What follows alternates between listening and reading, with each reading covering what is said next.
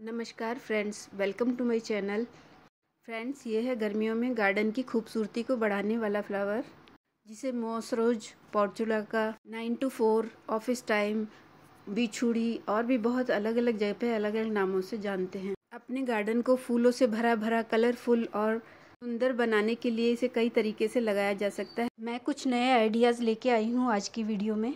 तो उसके लिए लिया है मैंने ये पतला वाला पीवीसी पाइप और उसमें सात आठ होल कर दिए हैं मैंने और उसमें तीन इंच की नेल लेके मैंने प्लायर की हेल्प से उनको कस दिया है हर होल में और फिर बाद में इस पाइप पर मैंने पेंट कर दिया वाइट कलर का।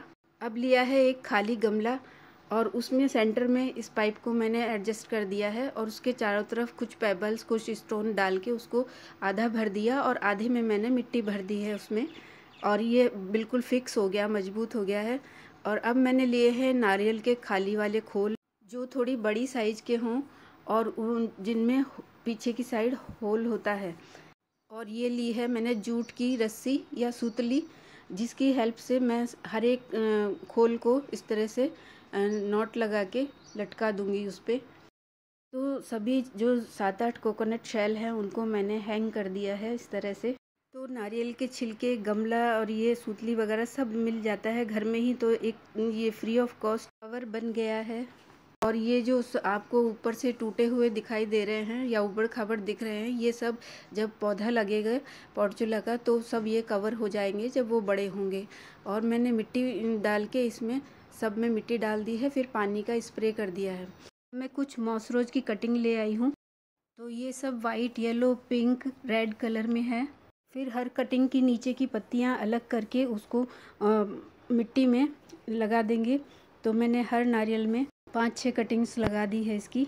और इसकी छोटी से छोटी कटिंग भी आराम से लग जाती है।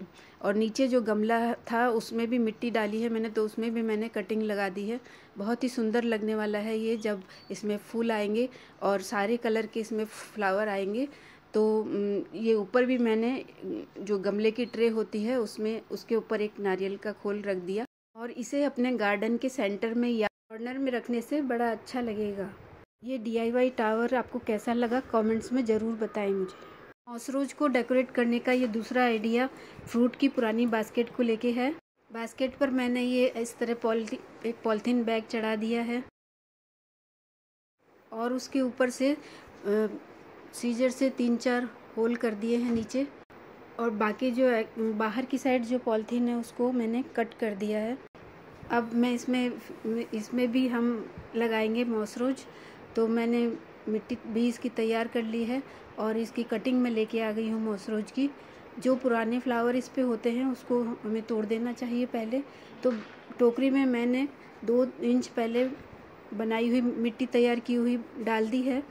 और उसमें मैं बाहर की तरफ़ से पहले होल करके फिर उसमें, उस होल में मोसरोज की कटिंग्स लगा दूँगी चारों तरफ़।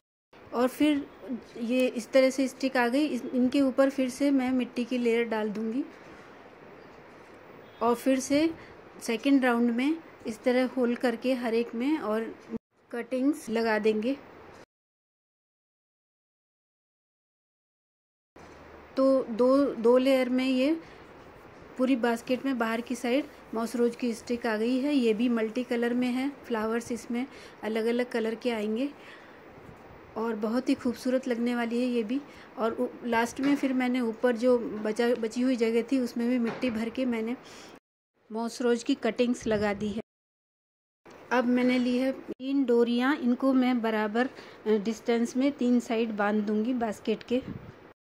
और ये मेरी हैंगिंग बास्केट तैयार हो गई। ऐसी बहुत सारी बास्केट बना के आप बालकनी में लगा सकते हैं या ऊपर टेरेस पर कहीं भी। लेकिन इसमें धूप पूरी तरह से, पूरा दिन की धूप आनी चाहिए। नेक्स्ट मैंने एक बहुत ही यूनिक तरीके से वर्टिकल शेप में प्लांट लगाया है और इसके लिए स्ट्रॉबेरी के जो बॉक्स होते हैं, उसको मैंने ऊपर से कट करके उसमें फिर मिट्टी डाल के उसमें कटिंग्स लगाई है इसकी। और देखिए, बहुत ही अच्छा आइडिया है वेस्ट कंटेनर को यूज़ भी करने का। तो फ्रेंड्स इन तरीकों से मॉइस्चराइज लगाकर अपनी बगिया को सजाइए और चैनल को सब्सक्राइब करके मेरा हौसला बढ़ाइए। Thank you